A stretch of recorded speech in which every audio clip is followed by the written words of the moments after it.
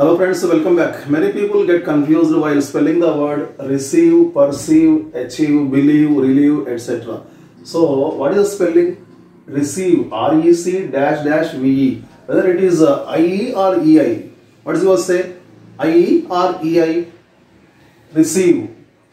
The same time, what is the spelling for believe, B-E-L dash dash V-E? I-E or E-I? Very simple. So let me explain, let me clarify the doubt here.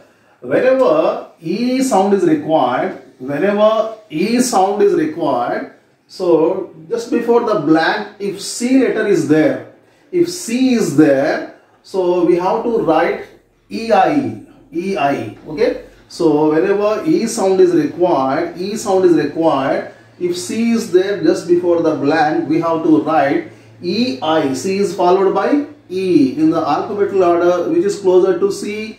E is closer to C rather than I. That's why EI we have to write here. So spelling for receive is R-E-C-E-I-V-E. Similarly perceive EI because C is there. So here also conceive C is there. So EI. On the other hand here achieve achieve A-C-H dash dash V-E. Here just before the blank H is there, C is not there, some other different letter is there. That's why we have to reverse it. Instead of EI, we have to write IE. Okay? So here also believe, E, believe, Lee, believe. If you want to get E sound, L is there, not C, C is not there. So if C is there, EI, if L is some other letter is there, reverse it, IE.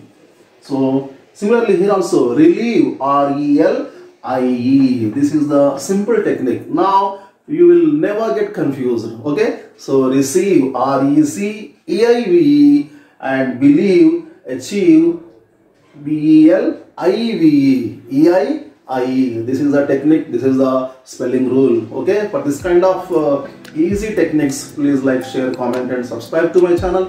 Thanks for watching. We meet again very soon with another interesting topic. Till then, take care. Bye bye. Jai Hind.